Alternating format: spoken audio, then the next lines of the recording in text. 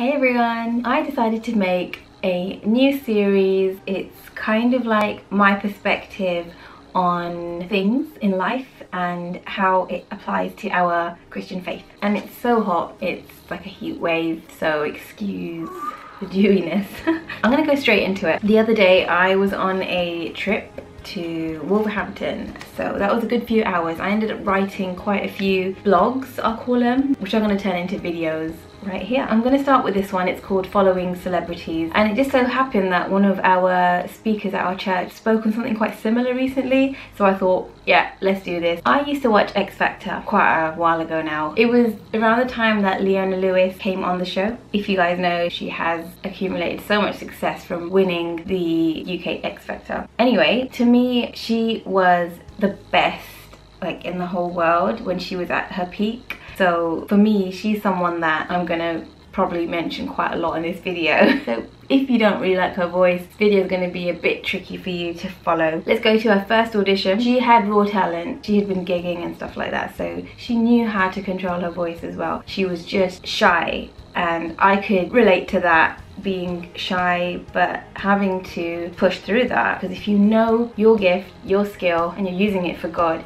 you must push through and get that courage from Christ and go and do it because you're doing it for him I know this is for a secular competition so with coaching from music mogul Simon Cowell she developed and she had adjusted herself and was the favorite to win and she just turned into this world-class artist every week i watched her her singing was flawless and faultless and I remember when she got noticed in America and everything was just kind of like wow Leona Leona. I also think she was quite humble about her singing ability. She was always surprised when she got through. Um, I don't think she was pretending. I think genuinely she was surprised and so grateful. I don't think she was proud about her ability. I can't comment on her spiritual life or anything other than her vocal ability because, you know, she had to dress how they dressed her. She had to do choreography according to what she was um, told, I guess. I can't comment on any of that, just on her voice is what I had focused on. So I like that she had a style. Um, she always started soft and quite a lot in her falsetto and then she would build it up and by the end,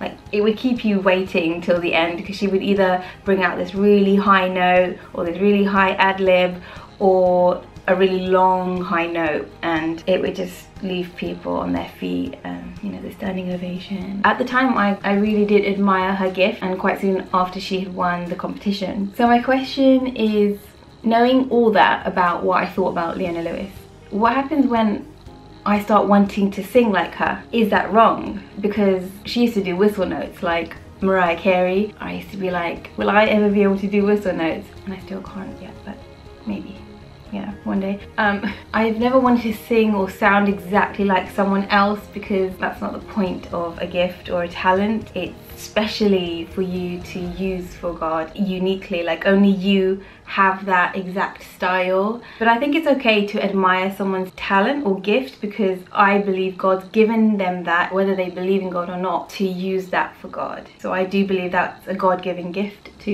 leona lewis. But instead of me wanting to be like her look like her dress like her sing like her or have fame and success like her it just challenged me to practice as much as she did and to have goals that would mean I could push myself to reach these high belted notes which I usually try to incorporate in a lot of my solos. So what I'm saying is I think it's okay to take the good from the neutral things in people of the world but not to elevate it and put it on a platform like everyone look let's follow by example of this person. I don't know what I'm talking about now. But when it becomes an obsession, like people do plastic surgery to look like they're celebrities. They dress and they spend a lot of money when they're obsessed with celebrities. So that is like an extreme side of admiring a person. And remember, they are just people. So we need to be careful who we're admiring and what for and why. And especially as believers, do they believe in Christ? Do they actually follow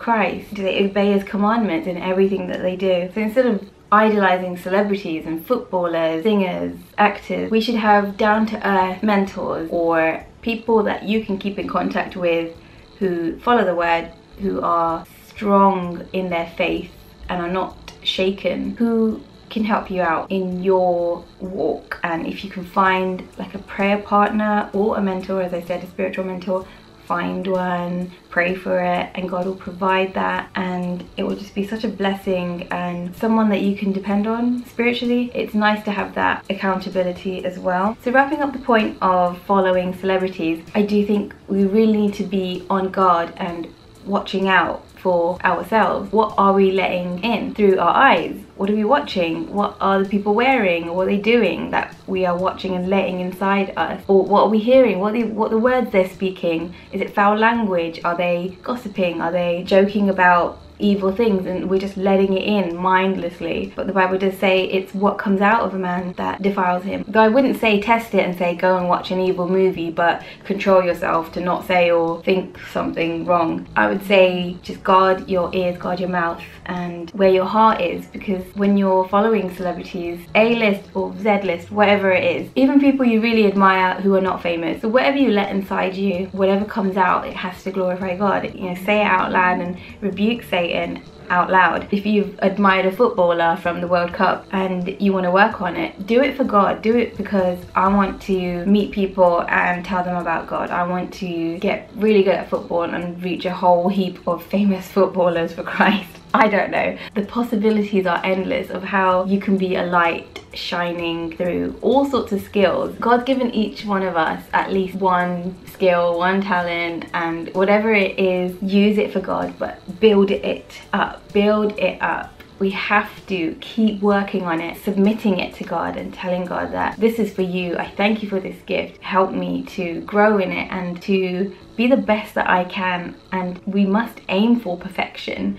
while we are on earth because we cannot stand still. But I think we'll be held accountable for how we've used our talents. And you must, must, must do your best with it, practice with it, and be humble with it, not to put others down because others are not as good as you. You could be really good at memorizing Bible scriptures. We're not going to show off about that. You're going to use those scriptures to bless someone in your everyday life. Use those scriptures to evangelize rather than say, I know the whole Bible, look at me. so whatever we do, whatever skill we have, let's build ourselves for Christ because He's the one who's given us that skill and that gift to use for him. We're a vessel, we're just, we're just empty without him. He's filled us and we got to use everything for him, for his glory, not just on a church Sunday service, but in our everyday life. Over social media, this is now becoming a big part of our everyday life as well. Whatever impact we have with people all over the world, let's